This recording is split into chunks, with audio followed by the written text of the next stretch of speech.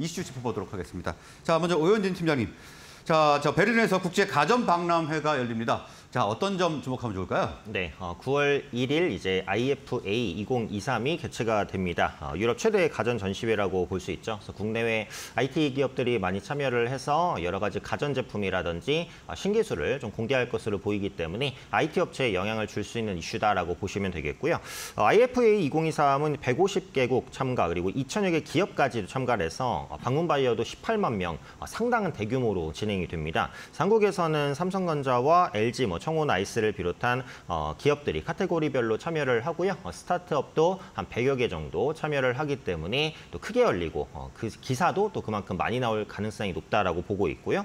또 스마트홈이라든지 사물인터넷, AI 관련된 강연도 진행이 됩니다. 그래서 신규소 관련된 업황 그리고 전문가들의 강연이 있을 것으로 보여지고 있고요. 어, 4차 산업 관련된 종목군들의 투자 심리 개선으로 어, 연결될 가능성이 있다라고 보고 있습니다. 또 에너지 저감이라든지 뭐 그 기술도 좀 다수 공개 될 것으로 보입니다. 뭐 지구 온난화 어, 그리고 에너지 고갈 이런 문제 극복을 위한 어, 환경 친화적인 제품들도 어, 많이 선보일 것이기 때문에 어, 친환경 관련된 섹터들도 간접적으로나마 좀 영향을 받을 수 있다라고 보니까 어, 이번 IFA에서 어떤 언급들이 나오는지 눈여겨 보시면 좋을 것 같고요. 어, 관련주의 관심 종목으로는 이제 LG 전자를 가지고 왔습니다. 어, 프리미엄 빌트인 가전시장 점유율이 좀 확대되고 있는데 이번 IFA에서 built-in 전시존을 운영합니다. 그래서 기존의 프리미엄 라인인 시그니처에 이어서 어, 대중적인 그 mass 프리미엄 시장을 노리고 있기 때문에 어, 유럽을 중심으로 한 가전시장 침투율 확대가 기대된다라고 보고 있고요.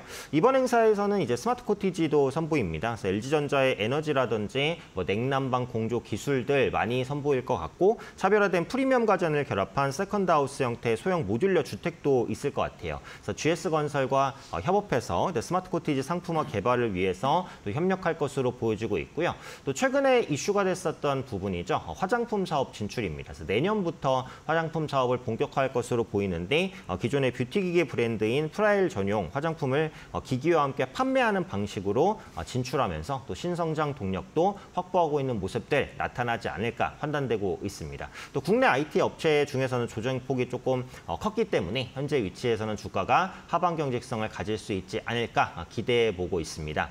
어, 차트적인 흐름 한번 보면 최고가 대비해서 30% 정도 빠졌죠. 그 이후에는 주가가 더 이상 밀리지 않습니다. 현재 주가가 어, 10만 원 근처에서 움직이고 있는데 근데 10만 원은 어, 굉장히 강력한 지지 라인이기 때문에 웬만해서는 붕괴하지 않을 것 같아서 좀 안정적으로 매수할 수 있는 구간이 현재 위치가 아닌가 싶습니다. 그래서 10만 원 이하부터는 어, 매수 접근 가능한 구간이다라고 말씀드리겠고요. 어, 목표가는 한 10만 네, 8천 원 정도 어, 장기 이평선이 걸리는 가격까지 노려보도록 하겠고요. 어, 손절가는 어, 9만 4천 원 설정하도록 하겠습니다. 네. 자, 관심 종목 LG전자까지 알아봤고요. 목표가는 10만 8천 원, 손절가 9만 4천 원 제시를 해주셨습니다.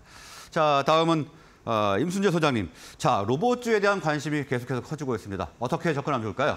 네, 뭐 로, 로봇 시장이 이제 빠르게 성장한다라는 건 많은 분들이 이제 아실 걸로 예상이 되고 있고요. 뭐 여러 이제 해외 기관에서도 로봇 시장이 빠르게 성장을 할 수 있다라고 보여지고 있습니다.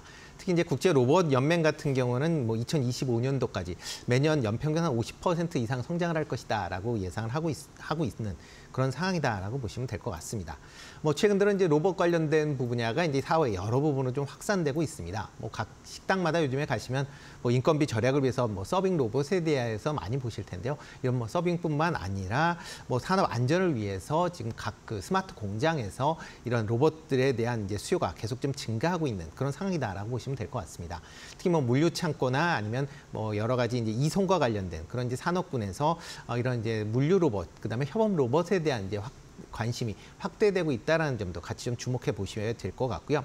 특히 이제 AI가 이제 확대가 되면서 로봇과 AI가 겹, 뭐 서로 이제 협력을 하, 접목이 된다라고 하게 되면 그만큼 다양하게 로봇 분야를 활용할 수 있다라는 것도 장점으로 보시면 좋을 것 같습니다.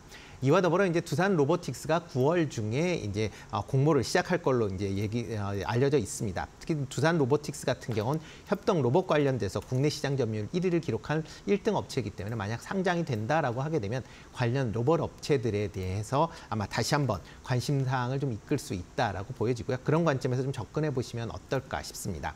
뭐 추천주는 그중에서 이제 V1텍이라는 종목입니다. 뭐 V1텍은 물류 자동화 및 2차 정, 아, 2차 전지 장비 검사 이제 제조업체다라고 보시면 되는데요. 현재는 이제 매출 비중으로 본다라고 하게 되면 2차 전지 어, 검사 장비 관련된 부분이 전체 매출의 50%를 넘을 만큼 아직까지 2차 전지 관련주로 이제 분류가 되긴 하지만 최근 들어 이제 로보틱스 부분, 특히 이제 스마트 물류를 위한 이제 자동 이- 자율 이동 이제 로봇 관련된 솔루션을 제공하는 부분의 매출이 점차 증가하고 있는 그런 모습을 보이고 있습니다.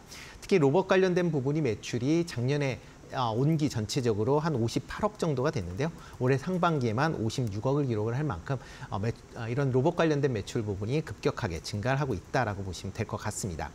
특히 이제 미국 내에 어, 미국 내에 이제 국내 그 자동차 공장에 AMR과 AVG를 공, 공급을 하고 있습니다. 지난 5월 달에 이제 관련된 어, 공급을 하겠다라고 납품 계약을 체결을 했고요.